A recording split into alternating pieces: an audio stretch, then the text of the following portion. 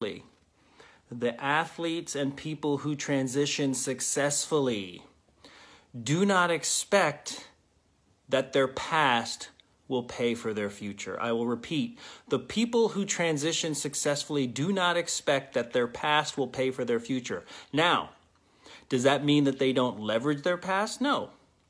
But it does mean that they tend to the garden, they participate in the community, and they also give back. And that is how they are rewarded for being who they are. That is how their expectations are managed, and that is how they actually do something on their own and they're still part of the dance. So, this is the case for any profession, this is the case for any relationship.